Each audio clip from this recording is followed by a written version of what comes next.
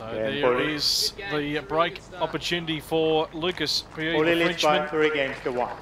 And he's got a nice little buffer here. 3-1 in the opening set. Long service game for Sam Grothwin.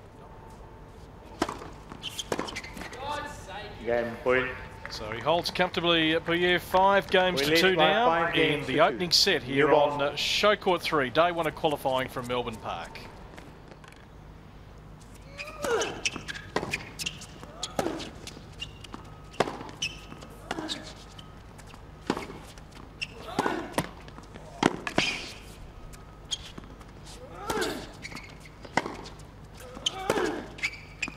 Game Polly.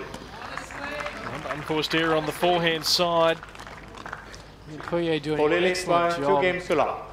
getting into the please. points and Thank you. making Groth play extra balls. He defended well out of his forehand corner there.